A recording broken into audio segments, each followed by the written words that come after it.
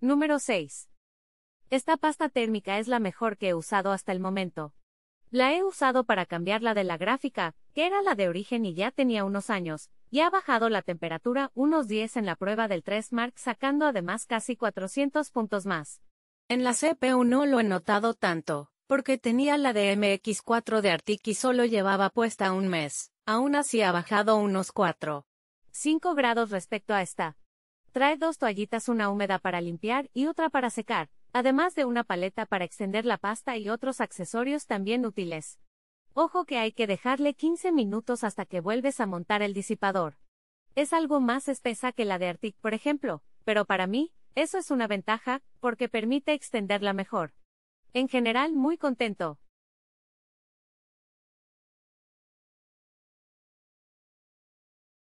Número 5.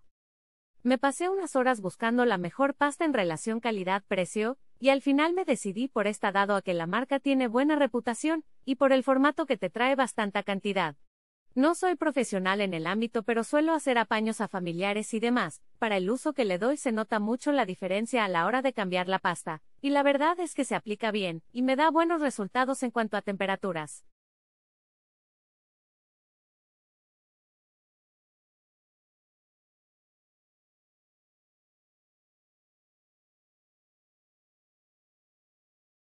Número 4. El producto funciona perfectamente. Ya conocía antes la Arctic Silver 5 y me funciona de lujo. Ahora no solo la he usado para el nuevo procesador, sino que para la Q que tengo es fantástica. Recomiendo este kit para poder extender mejor la pasta térmica, porque poner demasiada, para retirarla después, puede ser frustrante. Con este kit se puede poner la cantidad justa sin problemas. Número 3.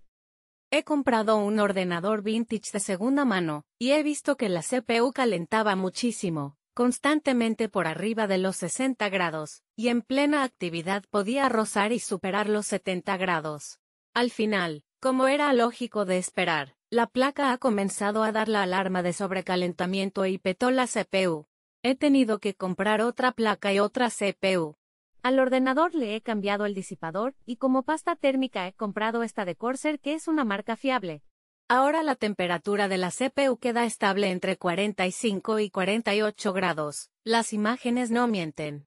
La jeringuilla, en mi opinión, es lo mejor para aplicar pasta térmicas porque permite una aplicación más fácil, limpia y en la justa cantidad no menos importante es que no sale líquida como puede pasar con esas que se venden en sobrecitos, u otras baratonas. De mi parte, Aconsejo gastar esos dos. 3 o hasta 10 euros euros más y comprar un producto de calidad y de buena marca, porque una.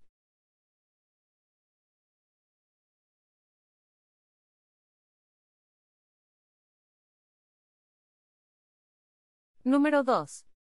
Aún no lo he utilizado pero es el más completo en su categoría, aún no siendo cerámico es de una aleación de silicona y distintos metales que lo hacen un producto de buena calidad, el orden es de pera mejor silicona, cerámica a partículas metálicas. Este tiene silicona y metal por lo que es de calidad media.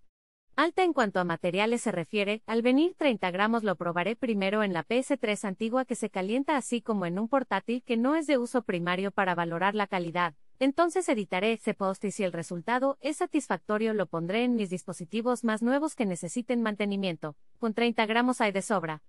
Update utilizado en tres dispositivos, en la consola se nota un montón, no han vuelto a saltar los ventiladores, en los portátiles, en el más moderno ha bajado unos 10 grados en idle, y unos 23 de media durante momentos de Streisand, como edición de vídeo o juego online, en el portátil MA, número 1. Hay por ahí por internet test de temperaturas con y sin pasta térmica, no me centraré en eso tan técnico. A nivel usuario sin flipaduras, tengo que comentar que a mí me está funcionando muy bien. Las temperaturas que tengo son muy bajas, ¿qué es lo que nos importa? Aplicado en procesador AMD Ryzen 2700X y refrigeración líquida de Epcol Captain 120X también recomiendo un equilibrado sistema de ventiladores en el PC, que ayudará a mantener la placa y componentes bien ventilados y más frescos. Todo suma. La cantidad correcta es un garbanzo pequeño justo en el centro del procesador, ni más ni menos. Al presionar cada pieza luego se reparte perfectamente, no hagáis X, ni cinco puntitos ni historias que se os saldrá y la leáis. Ninguna pasta es eterna, es muy recomendable cada un par de años desmontar el ventilador. Refrigeración líquida, limpiarlo todo bien con alcohol isopropílico, procesador y ventilador, y volver a aplicar.